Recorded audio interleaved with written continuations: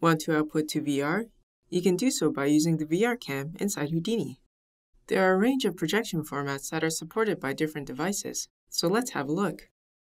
So here I have a destruction scene, which is fairly heavy, and I want to output this scene for VR. So I'm just going to hit the tab key, type VR cam, and hit the enter key to select it.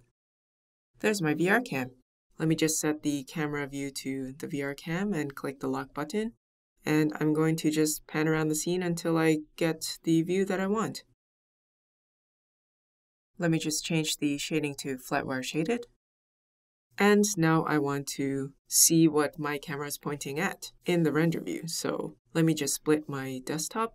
I'm going to hit Alt and close square bracket, and this will give me a horizontal split view.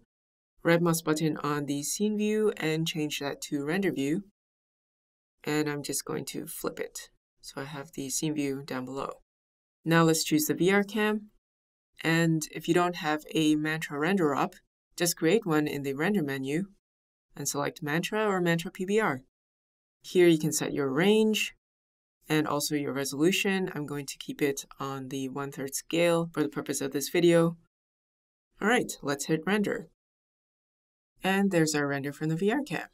If we select the render cam, we can see that there is a VR tab and a number of options there. Under layout, we have some stereo options, left, right, left over, right under, and then individual eye output left right.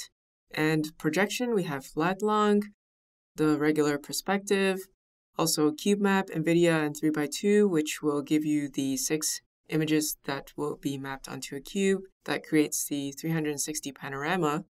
And depending on which projection type you select, you can further tweak the field of view, clipping, distortion, and so on. And that's how you can output to VR using the VR cam inside Houdini.